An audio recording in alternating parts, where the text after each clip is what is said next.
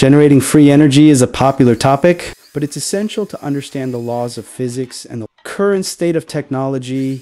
While there are many claims and ideas, here's a realistic overview. Current understanding. Energy, conservation. Energy can't be created or destroyed, only converted from one form to another. Perpetual motion machines. These are hypothetical devices that can't be built due to the laws of thermodynamics, potential methods. Solar energy, harnessing sunlight using solar panels, wind energy, generating power from wind using turbines, hydro energy, utilizing water flow or tidal forces to produce electricity, geothermal energy, tapping into Earth's heat to generate power, emerging technologies, advanced solar panels, more efficient and affordable solar panels, energy harvesting, capturing small amounts of energy from environmental sources, for example,